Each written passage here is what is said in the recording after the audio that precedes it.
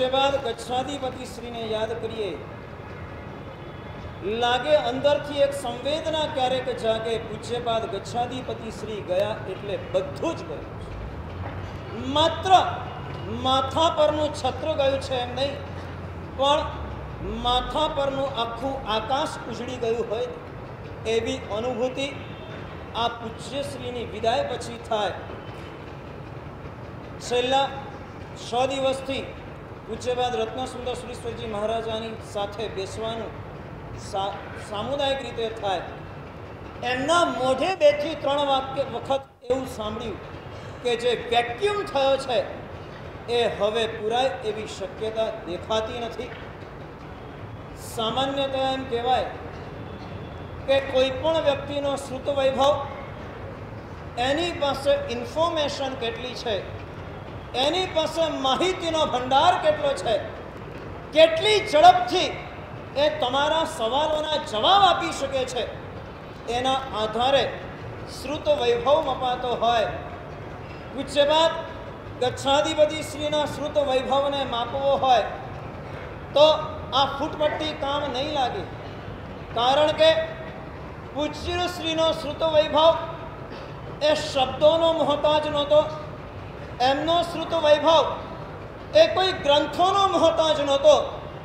પૂજ્ય શ્રીનો શ્રુત વૈભવ એ અંદરથી જબરજસ્ત કોટીનો શુદ્ધિનો વૈભવ હતો. પૂજ્ય શ્રીના શ્રુત વૈભવની અંદર સત્વનો વૈભવ હતો. પૂજ્ય શ્રીના શ્રુત વૈભવની અંદર સ્નેહનો વૈભવ હતો. અને આગળ વધીને કહું તો પૂજ્ય શ્રીના શ્રુત વૈભવની અંદર આમ તમારી દુનિયામાં સ્મૃતિથી શ્રુતને તમે માપો છો. પૂજ્યપાદ ગચ્છાતિપતિ શ્રીમાં સ્મૃતિનો વૈભવ પણ હતો, પણ એ સ્મૃતિના વૈભવ કરતાં પણ સૌથી પહેલો કદાચ મૂકીએ ને તો શુદ્ધિનો વૈભવ મૂકવો પડે. કારણ કે શ્રુત માત્ર પૂજ્ય શ્રી પામ્યા નહોતા પચાવ્યું હતું મને એક ઘટના યાદ આવે. આજથી લગભગ છવ્વીસ વર્ષ પહેલાંની વાત છે.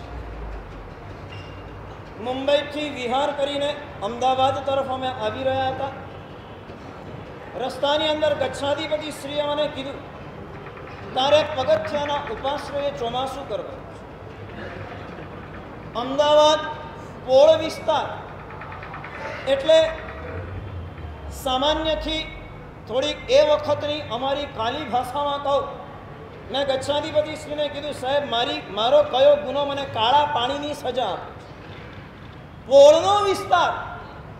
એટલે પુષ્કળ સાધુ ભગવંતોના ઉપાશ્રય, સાધ્વીજી ભગવંતોના ઉપાશ્રય, શ્રાવકોની આર્થિક સ્થિતિ પણ ઘસાયેલી અને આંતરિક ભાવ સ્થિતિ પણ થોડીક નબળી પડેલી હોય. મુંબઈથી ચોમાસું કરીને આવ્યા હોઈએ. અને આવા વિસ્તારની અંદર ચોમાસાની વાત આવે, એકવાર મન માની મેં બ્લન્ટલી આ જ ભાષાની અંદર પૂછ્યું, સાહેબ, કયો ગુનો કર્યો? મને કાળા પાણીની સજા. અને તે વખતે પૂજ્ય શ્રીના હૃદયની અંદર રહેલો સ્નેહ વૈભવ અમે જે જોયો છે, એમણે મને એક જ વાક્ય કીધું છો, જિનાલયનો જીર્ણોદ્ધાર કરનારા ઘણા મળશે. ઉપાશ્રયનો જીર્ણોદ્ધાર કરનારા ઘણા મળશે. પણ સંઘનો જીર્ણોદ્ધાર કોણ કરશે? ચારસો ચારસો વર્ષ પ્રાચીન આ સંઘ જગતગુરુ હીર સુરીશ્વરજી મહારાજનું પદાર્પણ જે જગ્યાએ થયું છે એ હીર સુરીશ્વરજી મહારાજની ચરણરજથી પવિત્ર થયેલો આ સંઘ આપણા અનેકાનેક મહાપુરુષો એમને કૃપાથી પવિત્રિત થયેલો આ સંઘ આજે નબળો પડ્યો છે. આપણે એને ઊંચો લાવવાનો છે. જો સંયમ બોધી કદાચ તને ગોચરી પાણી અનુકૂળ મળે ન મળે એની ચિંતા ના કરીશ. મને ખબર છે તું પ્રભાવક છે, શક્તિશાળી છે. તને ચાતુર્માસની અંદર કદાચ બાહ્ય જાહો ચલાવી જોઈએ. એ કદાચ અહીંયા ઓછી વધતી મળશે. પણ યાદ રાખજે, એક સંઘના જીર્ણોદ્ધાર કરવાનો લાભ તને મળશે. અને આટલું બોલતા બોલતા આ પૂજ્યશ્રીની આંખમાં આંસુ આવી ગયા. કારણ કે પોતાના પિતાજી મહારાજ ધર્મઘોષ વિજયજી મહારાજની અંતિમ અવસ્થામાં કેટલાક વર્ષોની સ્થિરતા સ્થિરવાસ ત્યાં થયેલો. આ એ પૂજ્ય શ્રી હતા. જેમને પોતાના શરીર પ્રત્યે પણ નિષ્પૃહ હતા. પોતાને મળેલી સત્તા પ્રત્યે નિષ્પૃહ હતા. એવા પૂજ્ય શ્રી એમના હૃદયની આ સંવેદના મને કે સંઘનો જીર્ણોદ્ધાર આપણે કરવો છે. આ સંઘને આપણે ઉપર લાવવો છે અને બે હાથે આશીર્વાદ આપ્યા. જા, તારું ચોમાસું સારામાં સારું થશે. મારા આશીર્વાદ છે. અને આજે છાતી ઠોકીને એમ કહી શકું કે છેલ્લા બત્રીસ વર્ષથી સ્વતંત્ર ચાતુર્માસ ચાલે છે. કદાચ આ સ્વતંત્ર ચાતુર્માસમાં સૌથી ગોલ્ડન સૌથી શ્રેષ્ઠ ચાતુર્માસ થયું હોય તો એ પગથિયાના ઉપાશ્રયનું ચાતુર્માસ. પૂજ્યશ્રીના હૃદયની આ ભાવના સંઘનો જીર્ણોદ્ધાર કર્યો છે. અને પૂજ્યશ્રીના એ વચનના બળ ઉપર એ અદ્ભુત ચોમાસું થયું. છેલ્લી એક વાત કહી દઉં. એકવાર પંકજની અંદર સાહેબ બિરાજમાન હતા. ત્રણ વાગ્યાના સુમારે આચાર્ય ભગવંતોની એક મિટિંગ નક્કી થયેલી હતી. લગભગ ત્રણમાં પાંચ કમનો સમય પાંચ જ મિનિટ બાકી હતી. કેબિનની પાસે દાંડો મૂકેલો હતો નો એન્ટ્રીના સિગ્નલ સ્વરૂપે. મારા શિષ્ય મુનિશ્રી કૃપાવતી વિજયજી થોડોક શારીરિક પ્રશ્ન હતો ડૉક્ટરની પાસે ગયેલા. ડ્રેસિંગ કરવાનું હતું, પણ કમ્પાઉન્ડરથી ડ્રેસિંગ બરાબર નહીં થયું હોય. પીડા ભયંકર કક્ષાની હતી. અને સમુદાયની સમુદાયની અંદર રહેલા નાનામાં નાના સાધુની એક એવી મનોદશા. પ્રશ્ન નાનો હોય, મોટો હોય, કોઈ પણ હોય ગચ્છાધિપતિ પાસે પહોંચી જાઓ એટલે અવશ્ય એનો રસ્તો નીકળે નીકળે ને નીકળે. સામાન્યતઃ સમુદાયના વડીલ આચાર્ય એ ગૌરવનું સ્થાન હોય છે.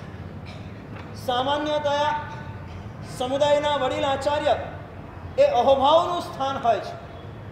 ક્યારેક આગળ વધીને એમની પાસે જવામાં એ ભયનું માધ્યમ હોય છે, ભાઈ, જવાય કે ન જવાય? ગચ્છાધિપતિ શ્રીનું વ્યક્તિત્વ એવું હતું. ગચ્છાધિપતિ વિશ્વાસ સ્થાન હતા. વિશ્રામ સ્થાન હતા અને વાત્સલ્યનું સ્થાન હતા. નાનામાં નાનો સાધુ પણ ગમે ત્યારે પૂજ્યશ્રી પાસે જઈ શકે. એ તો દાંડાની આડસ ઓવરટેક કરીને પહોંચી ગયા. સાહેબ, બહુ જ પીડા થાય છે. કંઈક કરી આપો એ વખતે પૂજ્યશ્રી પોતે પોતાની કોઈક દવા લઈ રહ્યા છે. ડબ્બી ખોલી દીધેલી, હાથની અંદર ગોળી લઈ લીધી. પોતાના માટે દવા કાઢી છે. શ્યાં કૃપાબોધી વિજયજીએ કીધું કે, મને આ તકલીફ થાય છે. લે આ દવા લે. પણ સાહેબ, આ તો તમારા માટે છે. મારા માટે ક્યાં છે? તને કીધું ને લઈ લે. પણ સાહેબ, શેની છે દવા? તને કીધું ને લઈ લે. પોતાના માટે કાઢેલી દવા એ સાધુને આપી ત્યાં જ બેસાડ્યો? મારી સામે જ લઈ લે, પાણી પણ અહીંયા વાપરી લે એના ઉપર. સાહેબ પોતે મોટે ભાગે હોમિયોપેથી દવા વાપરતા, પોતાના માટે કાઢેલી હોમિયોપેથીની એ દવા. એ દવા કૃપાબોધી વિજયસિંહના હાથની અંદર આપી લે, આ લઈ લે. એમણે લીધી. સાહેબની નજર સામે સાહેબની હાજરીમાં જ લીધી. માત્ર બે જ મિનિટ અને અંદરનો તમામ દુખાવો ગાયબ, તમામ પીડા ગાયબ, તમામ તકલીફો ગાયબ થઈ ગઈ. ખબર નહીં શેના માટે પોતે દવા લેતા હશે, કયા રોગની દવા હશે, કઈ દવા હશે ખબર નથી.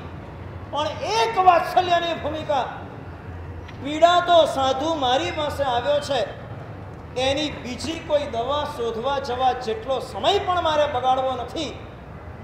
એક સાધુની પીડા જોઈને સાહેબે પોતાની દવા એને આપી દીધી. આ દવા લઈ લે. આમાં મહત્વની વાત હતી, દવાની તાકાત નહોતી.